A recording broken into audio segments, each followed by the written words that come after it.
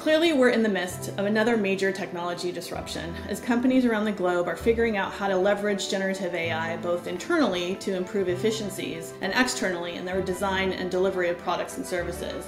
I'm Emily Sherberth, head of our North America Tech practice and a member of APCO's AI Steering Committee. She's not a bot. Join me over the next several months as we talk to more AI experts about topics like responsible AI, navigating AI policy, and how to create a human centered approach to AI transformation and more. And if you're interested in more information about our AI capabilities, visit apcoworldwide.com forward slash AI or send an email to ai at apcoworldwide.com.